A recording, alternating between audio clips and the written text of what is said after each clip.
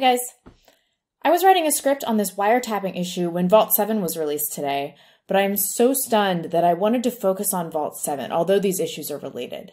I've linked a very informative Stefan Molyneux video about the wiretapping evidence in the description box below if you think that this is still tinfoil hattery. But with regards to Vault 7, the Wall Street Journal is saying that this is purported evidence, as are most other leftist outlets. But as we all know, WikiLeaks still has an impeccable record for accuracy. Also, Edward Snowden tweeted a few hours ago, Still working through the publication, but what WikiLeaks has here is genuinely a big deal, looks authentic. What makes this look real? Program and office names, such as the JQJ IOC Crypt series, are real. Only a cleared insider could know them. Okay, so what is Vault 7? According to the WikiLeaks press release, Vault 7 is a substantial collection of material about CIA activities obtained by WikiLeaks. Part 1 was released today, uh, was obtained recently, and covers through 2016. Details on other parts will be available at the time of their publication. WikiLeaks hasn't mined the best stories, and they're encouraging researchers everywhere to find them. And if you are successful, you can apply for early access to future parts. And I know I have some great researchers in my audience because of the help I got with former WikiLeaks dumps, so I really encourage you to do this if you're interested. This is also from the WikiLeaks press release. The first part of the series, Year Zero, comprises 8,761 documents and files from an isolated high security network situated inside the CIA's Center for Cyber Intelligence in Langley, Virginia. Recently, the CIA lost control of the majority of its hacking arsenal, including malware, viruses, trojans, weaponized zero day exploits, malware remote control systems, and associated documentation. This extraordinary collection, which amounts to more than several hundred million lines of code, gives its possessor the entire hacking capacity of the CIA. The archive appears to have been circulated among former U.S. government hackers and contractors in an unauthorized manner, one of whom has provided WikiLeaks with portions of the archive. The CIA's Remote Devices Branch's Umbrage Group collects and maintains a substantial library of attack techniques stolen from malware produced in other states, including the Russian Federation. With Umbrage and related projects, the CIA can not only increase its number of attack types, but also misdirect attribution by leaving behind the fingerprints of the groups that the attack techniques were stolen from.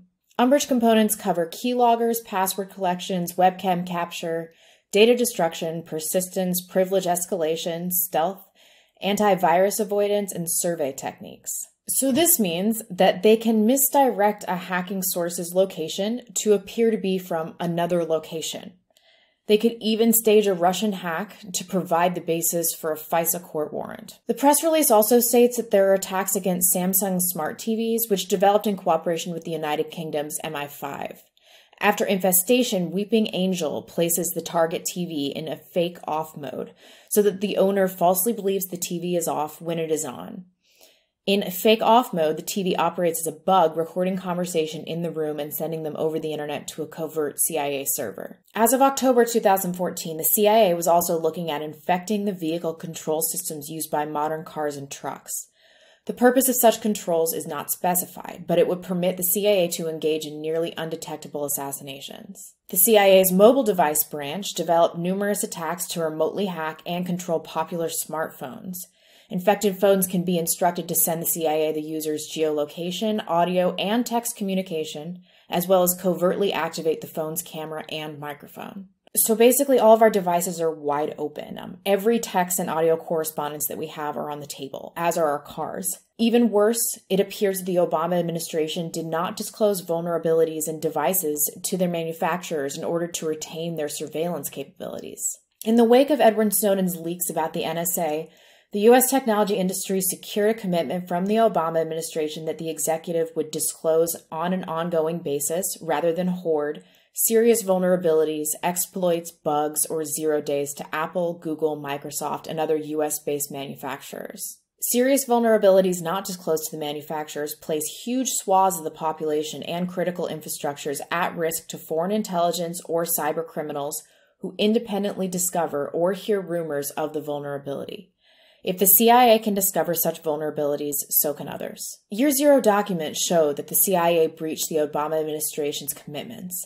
Many of the vulnerabilities used in the CIA's cyber arsenal are pervasive, and some may already have been found by rival intelligence agencies or cyber criminals. As an example, specific CIA malware revealed in year zero was able to penetrate, infest, and control both the Android phone and iPhone software that runs or has run presidential Twitter accounts. The CIA attacks the software by using undisclosed security vulnerabilities, zero days, possessed by the CIA but if the CIA can hack these phones, then so can everyone else who has obtained or discovered the vulnerability. As long as the CIA keeps these vulnerabilities concealed from Apple and Google, who make the phones, they will not be fixed and the phones will remain hackable. The same vulnerabilities exist for the population at large, including the US Cabinet, Congress, top CEOs, system administrators, security officers, and engineers. By hiding these security flaws from manufacturers like Apple and Google, the CIA ensures that it can hack everyone at the expense of leaving everyone hackable. So even though Vault 7 is trending, I saw a lot of people on Twitter that were saying this is nothing new and shouldn't surprise or alarm anyone. So what is the significance of all of this?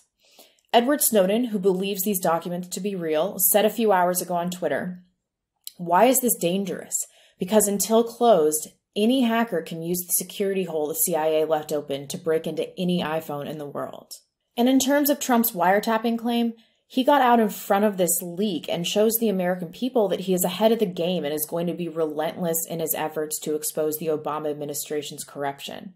It appears to me that Trump was being monitored despite there being no legitimate evidence that he has anything but benign connections with Russia in order to preemptively develop this Russian narrative. The Obama administration then made it easier for the NSA to share data in an attempt to allow this narrative to flourish. I think this is going to be much worse than we anticipate. We have allowed the government to impose a full blown surveillance state on us.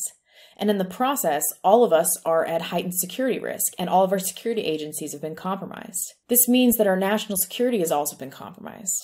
All of the hackable information is most certainly in the hands of our enemies. But it also means that we can expose the CIA and NSA in unprecedented ways through citizen journalism. So, once again, if you are interested in investing your time in this most important project, please see the WikiLeaks press release that I have linked in the description below.